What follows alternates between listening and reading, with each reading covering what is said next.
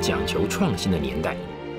光田医院的医疗特色是必须要有精益求精、追求完美的态度，才能够经得起二十一世纪的时代挑战。十年就是跨出一大步，他也没有想到说，我哪一天要变成多大的一家医院也没有，他只是说我就是要好好的服务这个地方而已。所以实际上在他那个年代，在海线地区，我们只能讲但是海线。第一吧，这是一定不夸口的。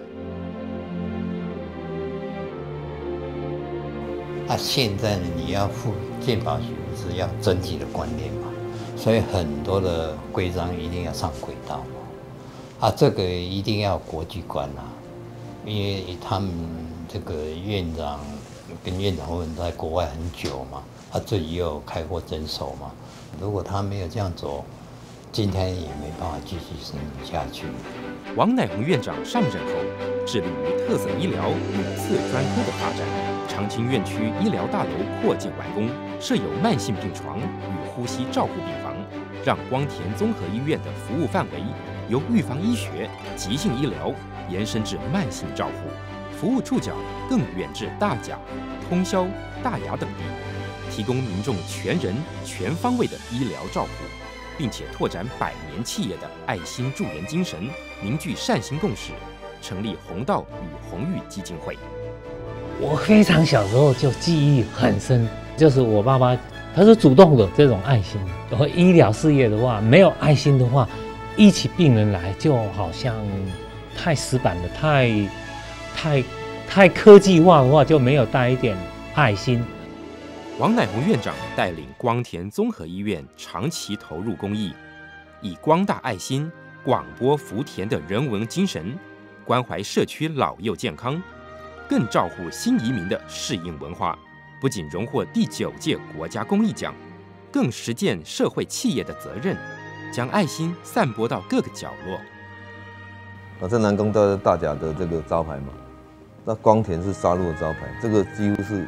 不可切割的，我感觉啦，这光田的历史就代代表着海线。当然，现在面临面临很多竞争嘛，对不对？可是，在很多在地人，他们对光田就是有一种去拜妈祖的一种就是信心的。所以，我说的建备光田医院，他们在台湾对台湾海线，甚至也有一部分是三线变换的照照顾以外，对整个医院的未来发展是很有计划的。那我也相信，以王院长他领导的能力和他的企图心，一定可以达到那两个愿景。十年就是跨出一大步。王乃宏院长与夫人携手成功，为光田综合医院注入企业治理的新气象。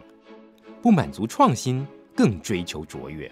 未来，光田综合医院不仅只是今日台湾非集团私人医院中。品牌经营历史最悠久的医院，更即将蜕变成百年厚实基础的光田医疗暨教学体系。我们主动出击，到社区去研究他们社区民众呢需要什么样的健康服务，我们回来再再去提供，努力的提供，让他们的健康指标提高。这就是立足台湾，放眼国际。我们每一届的院长都是想要更突破。更比以前更好。除了满足社区民众健康的需求以外呢，守护民众的健康是我们对社会不变的承诺。